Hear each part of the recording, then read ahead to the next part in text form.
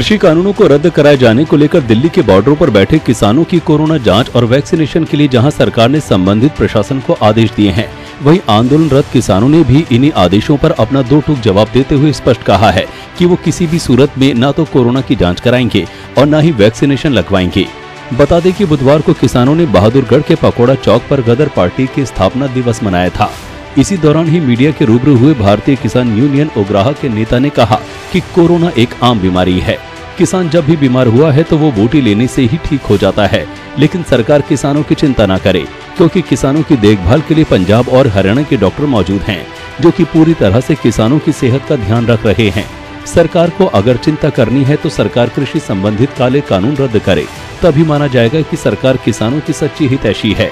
ਨਾ ਦੀ ਜਿਹੜੀ ਬਿਮਾਰੀ ਦੀ ਗੱਲ ਹੈ ਨਾ ਜਿਹੋ ਜੀ ਇਹ ਬਿਮਾਰੀ ਹੈ ਇਹ ਆਮ ਬਿਮਾਰੀ ਹੈ ਇਹ ਪਹਿਲਾਂ ਵੀ ਹਰ ਸਾਲ ਹੁੰਦੀ ਹੈ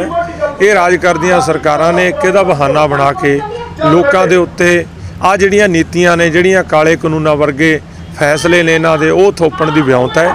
ਇਹ ਸਰਕਾਰ ਆਪਦੀ ਵਿਉਂਤ ਦੇ ਵਿੱਚ ਕਾਮਯਾਬ ਨਹੀਂ ਹੋਊਗੀ ਕਿਉਂਕਿ ਇਸ ਬਿਮਾਰੀ ਨੂੰ ਲੋਕ ਸਮਝ ਚੁੱਕੇ ਨੇ ਕਿ ਇਹ ਜਿਹੋ ਜੀ ਬਿਮਾਰੀ ਹੈ, ਖੰਘ ਦੀ, ਜ਼ੁਕਾਮ ਦੀ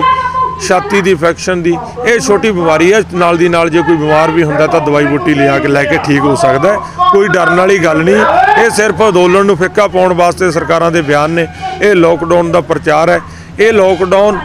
ਬਾਰੇ ਸਰਕਾਰਾਂ ਨੂੰ ਜਦੋਂ ਅਸੀਂ ਪੁੱਛਦੇ ਹਾਂ ਵੀ ਇਸ ਲੋਕਡਾਊਨ ਨਾਲ ਕਿੰਨੀ ਕੁ ਗਿਣਤੀ ਹੈ ਜਿਹੜੀ ਘਟ ਗਈ? ਸਾਨੂੰ ਅੰਕੜਾ ਤਾਂ ਜਾਰੀ ਕਰਨ ਪਹਿਲਾਂ ਵੀ ਇਸ ਦੇਸ਼ ਦੇ ਵਿੱਚ ਇਹਨਾਂ ਨੇ ਲੋਕਡਾਊਨ ਲਾਇਆ ਸੀ। ਸਾਨੂੰ ਜ- ਦੱਸਣ ਤਾਂ ਸਹੀ ਵੀ ਉਦੋਂ ਜਿਹੜੀ ਕਰੋਨਾ ਨਾਲ ਕਿੰਨੀ ਮੌਤ ਦਰ ਹੋਈ, ਉਦੋਂ ਪਹਿਲਾਂ ਜਦੋਂ ਇਹ ਕਰੋਨਾ ਬਿਮਾਰੀ ਨਹੀਂ ਸੀ, ਉਦੋਂ ਪਹਿਲਾਂ ਲੋਕਾਂ ਦੀ ਕਿੰਨੀ ਮੌਤ ਹੋਈ। ਤੇ ਇਹਨਾਂ ਕੋਲੇ ਕੋਈ ਠੋਸ ਸਬੂਤ ਨਹੀਂ ਹੈ। ਇਹ ਰਾਜ ਕਰਦੀਆਂ ਸਰਕਾਰਾਂ ਸਿਰਫ ਆਪਦੀਆਂ ਜਿਹੜੀਆਂ ਕਾਰਪੋਰੇਟ ਘਰਾਣਿਆਂ ਦੀਆਂ ਪੱਖੀ ਨੀਤੀਆਂ ਨੇ, ਉਹਨਾਂ ਨੂੰ ਲਾਗੂ ਕਰਨ ਵਾਸਤੇ ਇਹ ਕਰੋਨਾ ਦੀ ਆੜ ਲੈ ਰਹੀਆਂ ਨੇ। ਪਰ ਅਸੀਂ ਇਹ ਸਰਕਾਰਾਂ ਤੋਂ ਡਰਨ ਵਾਲੇ ਨਹੀਂ ਇਹਨਾਂ ਦੇ ਫੈਸਲਿਆਂ ਤੋਂ ਪ੍ਰਭਾਵ ਮੰਨਣ ਵਾਲੇ ਨਹੀਂ ਲਗਾਤਾਰ ਸਾਡੇ ਅੰਦੋਲਨ ਨੂੰ ਵਧਾ ਰਹੇ ਹਾਂ ਅੱਜ ਫੇਰ ਲਗਾਤਾਰ ਜਿਹੜੇ ਇਕੱਠ ਨੇ ਤੁਸੀਂ ਦੇਖਦੇ ਹੋ ਪੰਡਾਲ 'ਚ ਵਧੇ ਨੇ ਕੱਲ ਤੋਂ ਮੋਰਚੇ ਨੇ ਹੋਰ ਤੇਜ਼ ਹੋ ਜਾਣਾ ਹੈ ਕਿਉਂਕਿ ਕੰਮਕਾਰ ਤੋਂ ਸਾਡੇ ਜਿਹੜੇ ਕਿਸਾਨ ਨੇ ਉਹ ਵਿਹਲੇ ਹੋ ਚੁੱਕੇ ਨੇ बता दें कि इस दौरान किसान नेता ने ये भी कहा कि बेशक सरकार लॉकडाउन लगाकर देख ले लॉकडाउन से कोई फायदा होने वाला नहीं है किसान नेताओं ने इस मौके पर दावा किया कि दिल्ली के सभी मोर्चों पर अब किसानों की भारी तादाद बढ़ने वाली है झज्जर से जगदीप राजयान की रिपोर्ट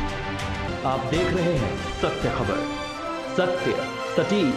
बेबाक।